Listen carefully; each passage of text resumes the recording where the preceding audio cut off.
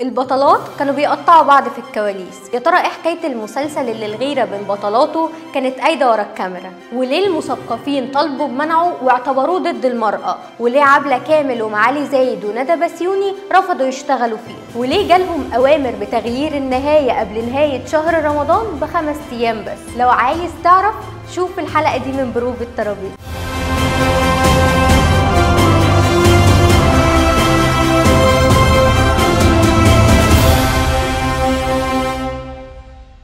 سنة 2001 اتعرض مسلسل عائلة الحاج متولي واللي حقق نجاح كبير وقتها. ومع النجاح ده كان فيه هوجة انتقادات اتوجهت للمسلسل. ووصلت إن البعض طالب بمنع عرضه لأن شايف إن المسلسل بينشر فكرة التعدد في الجواز. ومن غير شك إن مسلسل عائلة الحاج متولي حقق نجاح كبير وقت عرضه وكان مليان بالكواليس والتفاصيل. وخليني أقول لك إن أغلب الفنانات اللي شاركوا في العمل ما كانوش هم الترشيحات الأولى للمسلسل. طبعا كلنا فاكرين مسلسل عائلة الحاج متولي بس خليني أفكرك إن أحداثه كانت بتدور عن شخصية الحاج متولي سعيد الراجل اللي بيبدأ حياته من الصفر واللي كان بيشتغل عند تاجر قماش وبعد وفاته بيتجوز متولي. من أرملته ويخلف منها ابنه سعيد. وبعد ما بتتوفى الزوجة بيورث متولي وبيبدأ رحلته في عالم تجارة الأقمشة وبيبدأ يتجوز واحدة ورا التانية ورا التالتة ورا الرابعة. والمسلسل طبعا كان من بطولة نور الشريف وماجدة زكي وسمية الخشاب وغادة عبد الرازق واللي كان المسلسل ده وش السعد عليهم وبداية نجوميتهم.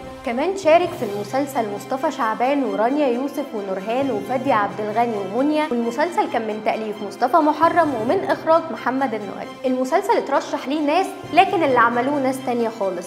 في الأول اترشح للمسلسل الفنان محمود عبد العزيز بس بعد كده العمل كان من نصيب نور الشريف. ويمكن كتير منكم ما يعرفش إن أدوار الفنانات اللي قاموا بأدوار الزوجات معظمهم ما كانوش المرشحين الأوائل للعمل. وخليني أقول لك إن الدور اللي عملته الفنانة ماجدة زكي اتعرض في الأول على عبلة كامل اللي اعتذرت لانشغالها بتصوير عمل تاني واستقروا في الآخر على الفنانة ماجدة زكي. أما دور الزوجة الثانية نعمة الله فكانت مرشحة ليه الفنانه معالي زايد وهي كمان اعتذرت لما طلبت شوية تعديلات في الدور ورفض المؤلف يعمل ده علشان تروح الشخصية للفنانة غادة عبد الرازق. أما دور مديحة اللي عملته سمية الخشاب فده اتعرض على عدد كبير من الفنانات وقتها زي بوسينة رشوان وندى بسيوني. وبرضه اعتذروا عن المسلسل عشان يبقى من نصيب سمية الخشاب. أما دور سعيد اللي عمله الفنان مصطفى شعبان فده كان مترشح ليه محمد نجاة. ونروح بقى للعلاقة بين الفنانات اللي قامت بدور الزوجات.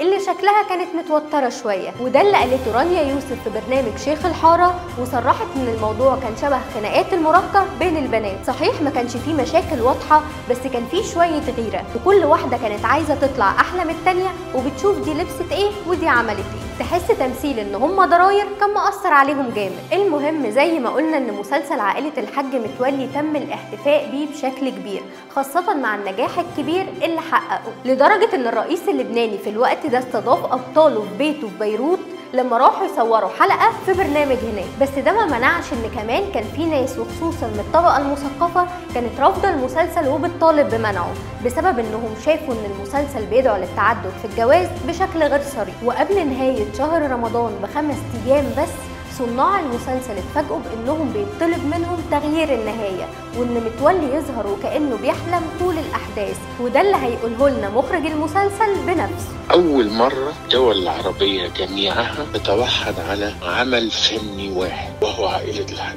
متولي وبالنسبة لكواليسه كان آه والله جات لنا معلومة كده في قبل رمضان بيخلص بخمس أيام إن إحنا عايزين يعني إيه غيروا النهاية خلوه إن هو بيحلم على طول فطبعا عشان نغير نقول إن هو بيحلم على طول دوت آه يبقى بنضحك على الناس طول الحلقات. فعملنا مشهد صورنا مشهد زيادة ونزلناه في الحلقة الأخيرة إن هو الراجل بيقول لابنه إن ما تعملش زيي لأن ما ينفعش تعمل زيي لأن الظروف دلوقتي مختلفة ولازم تنتبه لبيتك ومش عارف كلام النص النصايح العامة. وكانت المفاجأة إن إحنا بعد ما خلصنا كان في يوم 28 رمضان 30 رمضان كده جه التلفزيون الألماني عمل معانا حديث مع كل الأبطال العمل بما فيهم طبعا. القدير الراحل الشريف والقدير الراحل مصطفى لأن الناس دي فعلا مش هيجي زيهم تاني. وبكده خلصت حكايتنا النهاردة عن عائلة متولي سعيد. بس لسه عندنا حكايات كتيرة عن عائلات تانية في مسلسلات تانية. يا ترى الحلقة الجاية هتكون عن إيه؟ لو عايز تعرف تابعونا في بروف الترابيزة